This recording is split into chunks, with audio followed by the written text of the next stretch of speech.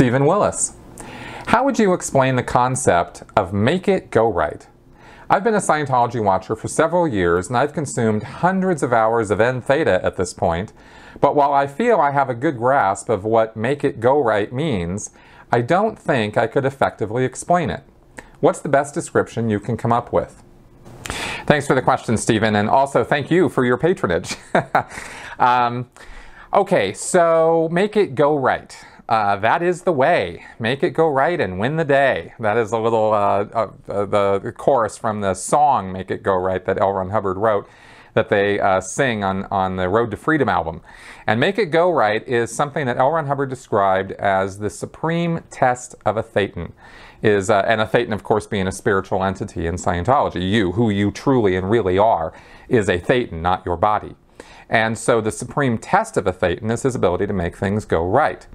Um, and so in Scientology, and especially in the Sea Org, this is a very valued trait. And it's basically about, well, there's another term in Scientology which might, uh, is the best way I can communicate about this, and that term is necessity level. Uh, it's Hubbard's way of, of communicating the, the, you know, driving, picking your, not only picking yourself up by your bootstraps or kicking yourself in the butt, but necessity level is all about survival and the point where there's sort of a tipping point where you um, you know you raise your necessity level you raise you're, you're confronted with a situation in life you're confronted with some problem whether it be at work or a personal problem and you have to deal with it. You simply don't have a choice. Failure is not an option you know, is, an, is, an, is a common English expression for the sort of sense or feeling of what raising your necessity level is. And that is something you have to do in order to make it go right.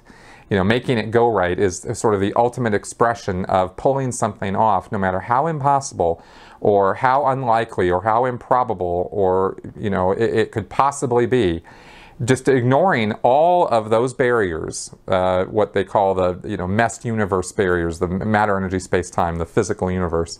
In Scientology, it's called the MEST universe, and ignoring any barriers from the, the MEST universe and making something happen anyway. Now, the theory behind this, the ultimate sort of theory behind this uh, in Scientology, is that you as a spiritual being are immortal. You have been around for a nearly infinite amount of time in the past, and you will continue to exist a near infinite or infinite amount of time into the future. During that time, the physical universe has been something that you have occupied, you've been involved in, you've had you know millions and trillions of, of, of lives, uh, lives I should say, bodies. And during that time, uh, or, or rather I should say, um, your existence here in the physical universe is sort of viewed in Scientology as uh, as this is like a playground. This is a place where you where you're not now. It's not. You've, you've devolved down over the trilenia into this degraded state where you think you are a body. And that's like a kid playing with dolls who says one day, I am the Ken doll or the Barbie doll. You look at him and go, what? That's crazy.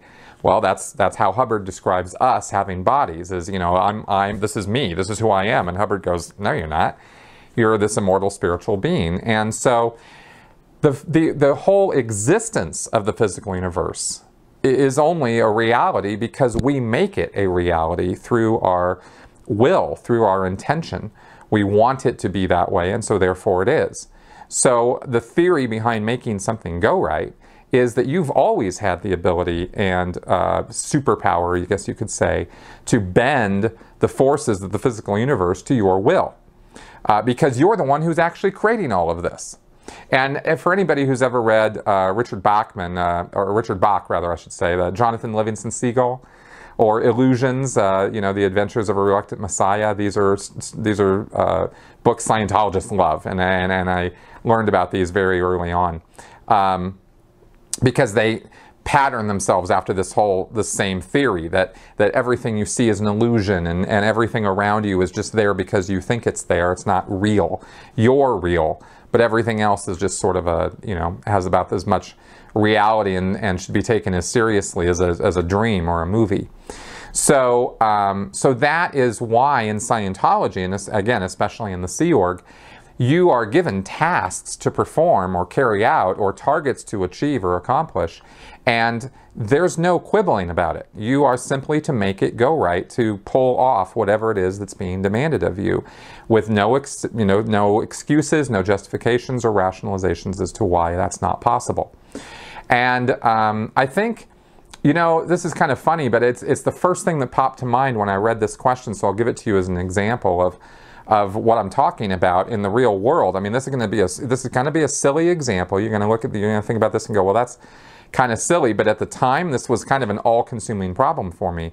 I was at a conference. Uh, there were senior Scientology executives putting on this recruitment conference. This was early on in my Sea Org career, probably the first or second year I was, I, I think it was within the first year of me being a Sea Org member.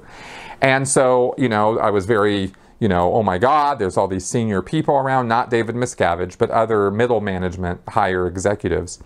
And um, we had staff from the various churches around the West US there. And uh, the one of the executives, oh yeah, I think it was the executive director international, who at the time was a bigwig. Now he's just uh, Guillaume Lesevre. He's a French guy. Now he's like in the hole or something. But at the time he was a bigwig, and he wanted. Okay, like I said, this is going to sound silly, but he wanted an orange juice. We didn't have any orange juice. We didn't have any budget for any orange juice. We didn't have any accommodations for any orange juice. The hotel that we were putting the convention on at didn't have any orange juice. Yet here was this senior, senior Scientology executive who wanted some orange juice. And he was one of, doing the speaking at the conference. I was just one of the guys running logistics and, and making things go right to you know set things up, get copies of surveys, put things together, you know, set up the chairs and tables. I mean, we were doing that kind of grunt work. And so this, uh, you know, this assistant to the executive director international comes to me and says he wants this orange juice, and I'm like, well, I, I am sorry, I don't, I don't have any. I don't know how to get any. And I come back with this because I go, oh, okay, I didn't have any money, you know. And uh, so I didn't know what to do. And I ran around the hotel. They didn't have any. I came back to this executive and I looked at her and I just said, I, I, I, I can't get any orange juice. There just isn't any around. And she just looked at me and she said, and I'm supposed to tell him that he can't have any orange juice because you couldn't make it go right? And I was like, no, sir. And I, you know, good. Well, then go, you know. And this was, this was to me at that moment in time, with my resources and availability of orange juice, I was screwed. And we were miles from the, the PAC base, so I couldn't just go to the galley or just rip one off from the canteen. We were out at a hotel. So, um, you know, my other Sea Org, my other fellow Sea Org members didn't have any money. This woman who was giving me the order didn't have any money. And, uh, and I was really stuck on what to do. I had no idea how to make this go right.